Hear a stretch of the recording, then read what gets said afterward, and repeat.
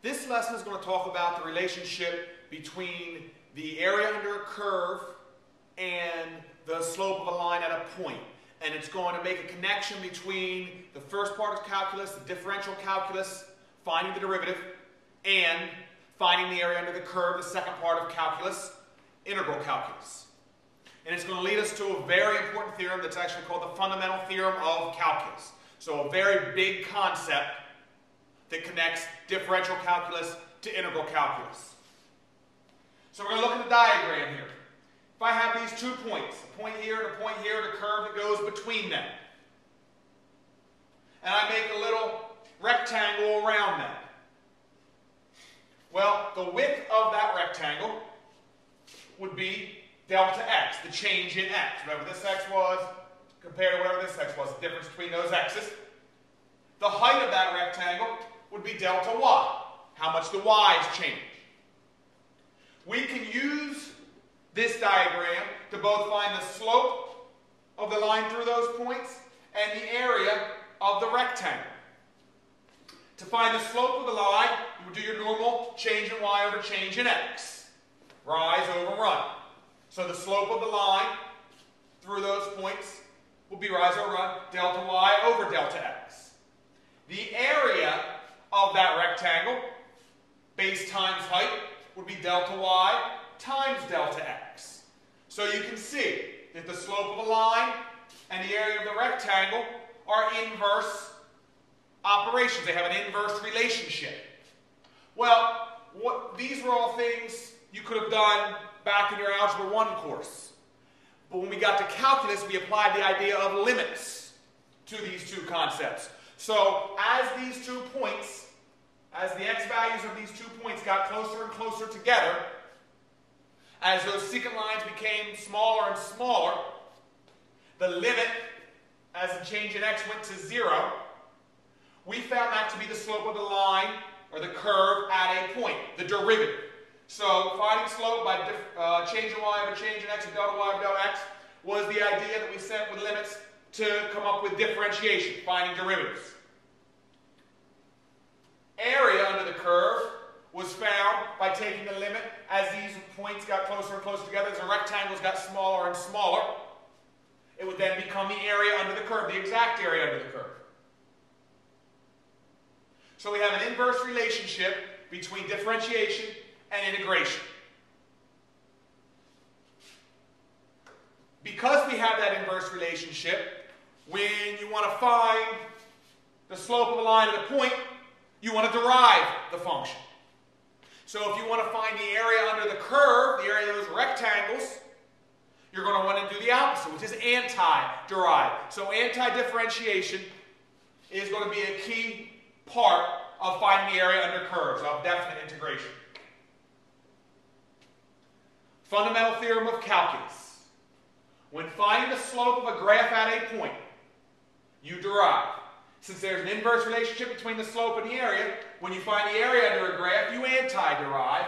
And here is the fundamental theorem of calculus. The definite integral from a to b of f of x dx equals capital F of b minus capital F of a. So, what this is saying, the area under this curve, the area under f of x, between a and b, from here to here, on your x-axis, is found by taking capital F of b and capital F of a and subtracting those two values. Remember our notation. f of x is the function itself, the function you're finding the area under. Capital F is the antiderivative. So you take the antiderivative of this function, plug in your value at b, so you get a number. You do the same thing with the same antiderivative, plug in the value of a, you get a number, you subtract those two numbers, and that gives you your value of your definite integral, the area under that curve. We're going to do a very, very simple example. The process for this is always the same. The fundamental theorem of calculus is always the same. The problems may get tricky. They may be difficult to anti-derive. You may have to really work and learn some new methods for that. But the idea is the same. Capital F of B minus capital F of A. So antiderive, plug in b and a, get the difference between them, and that'll give you your area under your curve. So I want the definite integral from 1 to 4 of 2x with respect to x.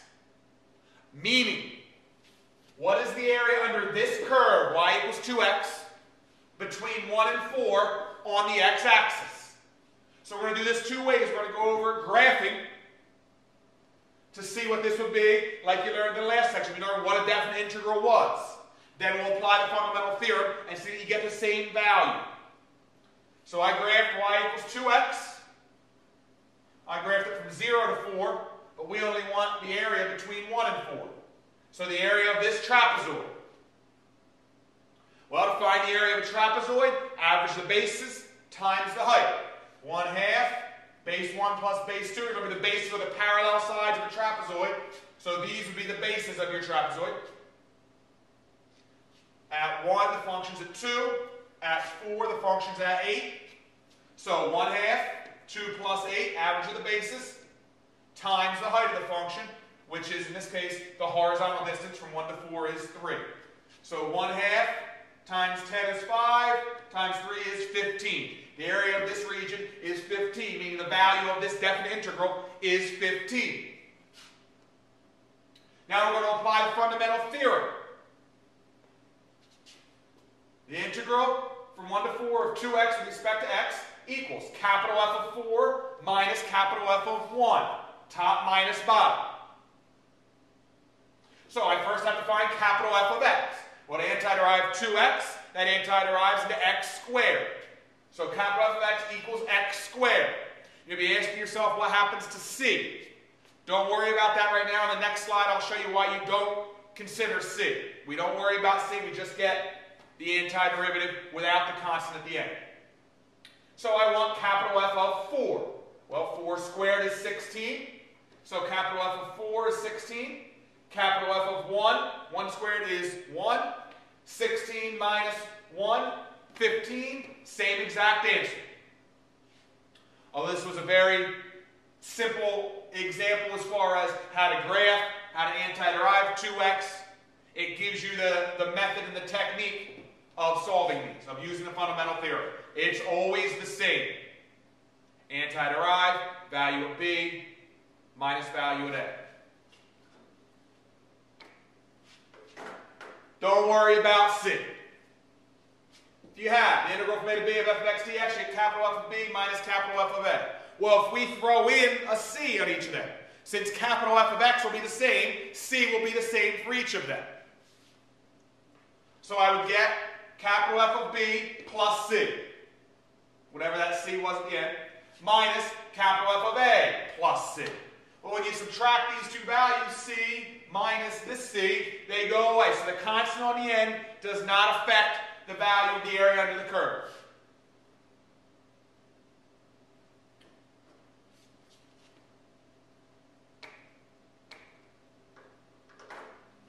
Again, the process is always the same for most of these, but you have to be careful when it comes to an absolute value function.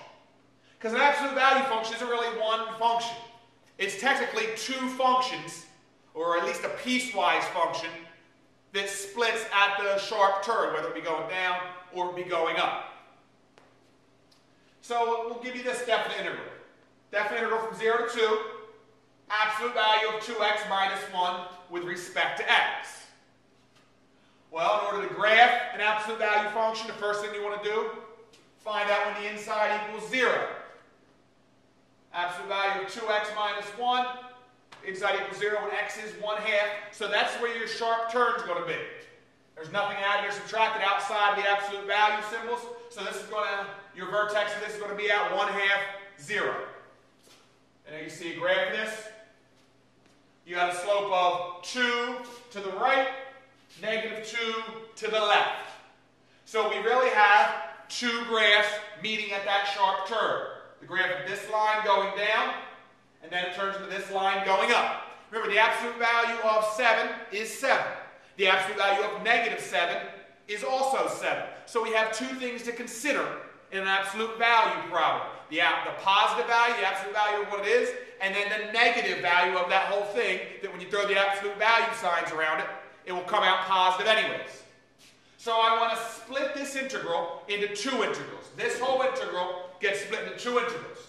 The integral from 0 to 1 half, because that's where it splits, and the integral from 1 half to 2, because it's going up that way from 1 half to 2. So it's the integral from 0 to 1 half. That happens to be my negative portion. So it's going to be negative 2x minus 1, negative whole thing. Plus the integral from 1 half to 2, positive 2x minus 1, so I don't have to do anything to that there. All with respect to x. This negative sign I'll go through and make it 2x, I'm sorry, negative 2x plus 1 here. Right side stays the same with the positives. Show you a little notation here. Uh, another type of notation. A lot of times, books or mathematicians or authors or teachers will write it out. They'll write the antiderivative. The first part. Negative 2x antiderives into negative x squared. 1 antiderives into x. And then they write the, the limits of integration on the top of a bracket. So this is going from 1 half to 0. 1 half is on the top of the bracket, 0 on the bottom of the bracket. Before they actually do all the math. They antiderive and write this notation so they can see what they're plugging in to keep your work in order. And then you add positive x squared minus x from 1 half to 2. So you have those numbers on the outside of that bracket as well. Very common notation that you'll see and you'll probably want to use to keep your work organized. So if you do make a mistake, you can go back and check. So now, I plug in the value at 1 half in here. Negative 1 half squared is negative 1 fourth plus 1 half. So that's f of a, f of 1 half, minus capital F of b, f of 0. Well, 0 plus 0. So that's the first definite integral, the first part of this. Again, same thing over here. Plug in 2. 2 squared is 2. I'm sorry, 2 squared is 4 minus 2. Plug in 1 half. 1 fourth minus 1 half. Subtract the difference. You do this math, you get uh, positive 1 fourth here, still positive 1 fourth. So you got positive 1 fourth plus 2 minus negative 1 fourth. So this is 1 quarter plus 2 and a quarter. So you end up getting 2 and a half or 5 halves. So again, with absolute value graphs, you must split at the sharp turn, where it changes from one line to another line, or from one line to another line, depending on its, um, not concavity, but whether it's V'd or upside down. Common mistake that you want to avoid, a lot of students will try to integrate in the middle of the interval. They'll set this from 0 to 1 and 1 to 2. Do not do that. Ha you have to split it at the sharp turn, the value where the inside equals 0. So keep that in mind. Don't make that mistake. You don't split it in half. You split it where the function changes from one piece to the other piece.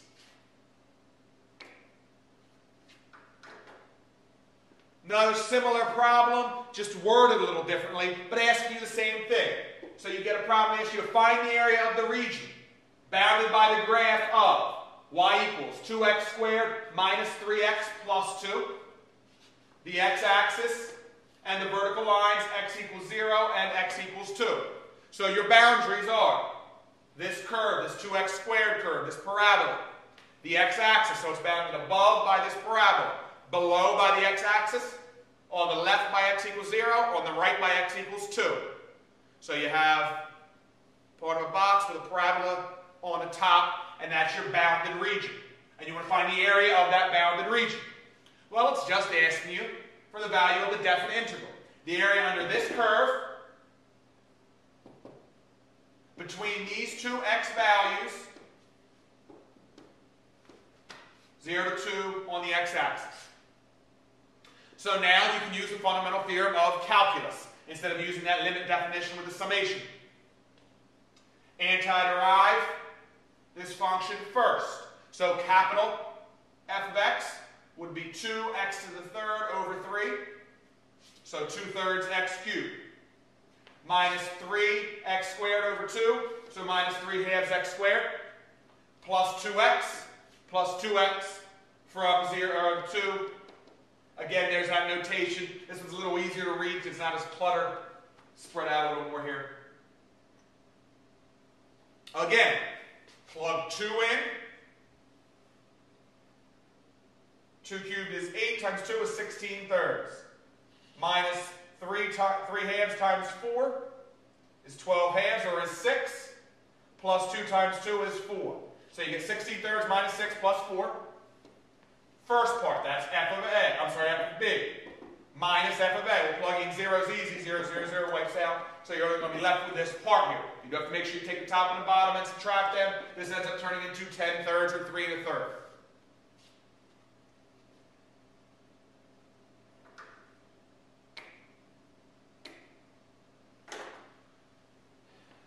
All right.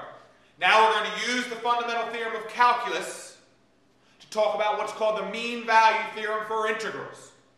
We talked about the mean value theorem back when we were doing differentiation, and that said that the slope of the tangent line had to equal the slope of the secant line. Somewhere on that interval between those two points, assuming the function was continuous and differentiable everywhere. Well, when you're talking about differentiation, your average slope is your slope of your secant line. When we're talking about integration, your average value is going to have to do with the size of a rectangle. It's going to have to do with a specific rectangle. Remember, differentiation has to do with slope of a line. Integration has to do with area of a rectangle. That's what we built all this calculus 1 from. We just applied limits to slope of a line, area of a rectangle. So now we're talking about integrals, we're going to have an area of a rectangle that we're going to have to figure out. It says there exists a rectangle on the same interval with the exact same area as the area of the region under the curve. So if I have this curve here, and I took A and B as these vertical red lines, well, I have an area under this curve. All this area in here, some value. It's saying that there's a rectangle, the same exact width, that I could make that would have the same area. And if you look, it'd probably be somewhere here in the middle. You have a little below and a little above. Cancel them both out somewhere in the middle and you have a rectangle with exact same area. One way to visualize this is if you imagine this is like a bowl or some kind of container. You have a bottom, you have your two sides. Imagine you shook it and the curve was water and you shook it and you took a snapshot of the water while it was still moving. And the water level looked like this. It was high over here, it was low over here. The rectangle that you're looking for is going to be the same rectangle that happens if you leave that sitting on a table and it stays still and eventually it flattens out and stops moving. If this was water and you shook it up and then let it settle, when the water settles, that's going to be the rectangle that you're looking for.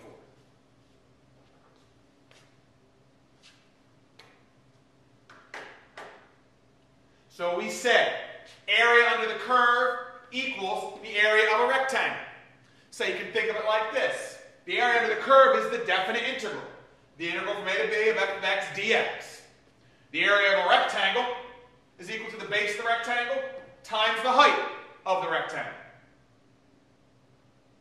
So, to find the height of that rectangle, you have your function f of x, you know a and b, so you know you can get this. Using the fundamental theorem, you can get this value. You can find the exact area of the rectangle. To find the base of that rectangle, it's just the same base as that interval. So it's going to be b minus a, whatever that ends up being. If it was from 1 to 7, the base would be 7 minus 1 would be 6. If it was from 13 to 22, the base would be 9. Whatever that interval is, b minus a will give you the base of that rectangle that you're looking for. So the only thing you don't know is that height. In order to find that height, you take 1 over b minus a, meaning 1 over the width of that. So if it was 7y, it'd be 1 seventh. If it was 10y, it'd be 1 tenth. And you multiply that by the value of the definite integral. So if the area under this curve is 25, and this is going between a and b, let's say it was like 4y, then you would take 25 and divide it by 4, or multiply it by 1 fourth, and you would get the height of that rectangle, 6.25. The height of that rectangle is called the average value of the function. If they want average rate of change of a function, you're looking for slope of the secant line. If they want average value of a function, if a calc textbook or a test or an instructor uses the phrase average value of the function, they're looking for that height of the rectangle. Think about it. The function's here, it's moving up, it's moving down. But on average, over that interval, maybe below some points, above other points, but on average, it was right in here. Average value is the height of the rectangle over the course of an interval.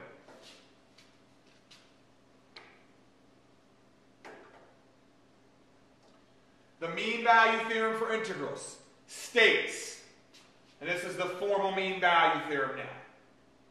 If f is continuous on the closed interval a to b, then there exists a number c in the closed interval a to b such that so long as you have a continuous function,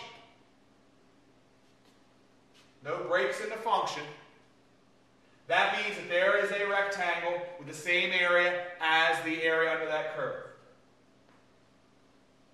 It says there exists a number c such that the definite integral, the area under the curve, equals b minus a, the width, times f of c, that height. This c is some x value in between. So if you have this picture here, you have the area of the curves in this greenish color. You make your rectangle. The water settles. It comes down over here, goes up over here. Your water settles. This is the height of your rectangle. C is wherever the function equals the height of that rectangle. So the function equals it right here. And actually, in this case, you would have two values that satisfy that condition right over here. You see the function would also equal that height. So the C is the x value where it happens. F of C is the average value. F of C is the height. Average value is looking for the height. If they say find the average value, they're looking for the y value, the height. If they say find the value of C guaranteed by the mean value theorem, then you're going to have an extra step to do. You're going to have to find out what that height is, then find out where the function itself equals that height.